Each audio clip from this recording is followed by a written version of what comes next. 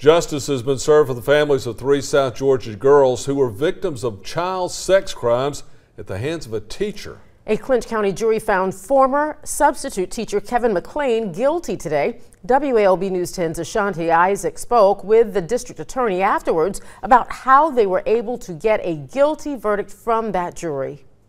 This was a blatant crime committed within the confines of the Clinch County School on these children and, and that has no place in business in Clinch County or our society. We're very proud of the verdict and look forward to getting a just sentence imposed. It was here at this school where former substitute teacher Kevin McLean committed sex crimes against young children as young as five years old. Now, the first incident happened back in 2018, but today, justice was finally served for these victims and their families.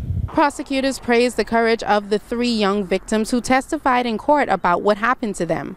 State called over 13 witnesses. They range from the victims themselves to what we call outcry witnesses. Those were family members or other folks that the children made statements of this abuse and molestation to. In cases that involve child abuse, whether sexual or physical, or if a child witnesses a crime, the DA's office will involve an advocacy center. In this case, it was the Scintilla Advocacy Center in Waycross. They did forensic interviews on these children to uh, let the children minimize how many times they have to talk about this to one time is the goal, twice if we have to go to trial.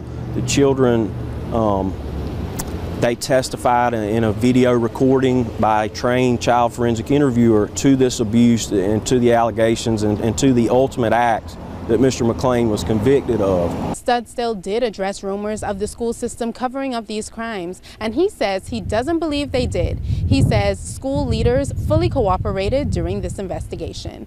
Ashanti Isaac, WALB, your hometown news source.